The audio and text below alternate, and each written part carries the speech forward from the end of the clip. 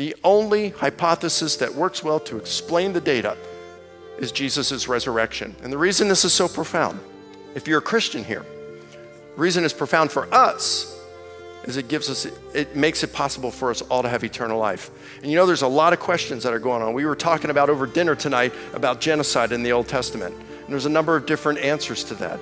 Or the creation account. Or what happened with the flood? Was that borrowed from the babylonians? Or what do you do with potential errors and contradictions in the gospels you know what's really cool about the resurrection regardless of how anyone answers those difficult questions if Jesus rose from the dead, Christianity is true.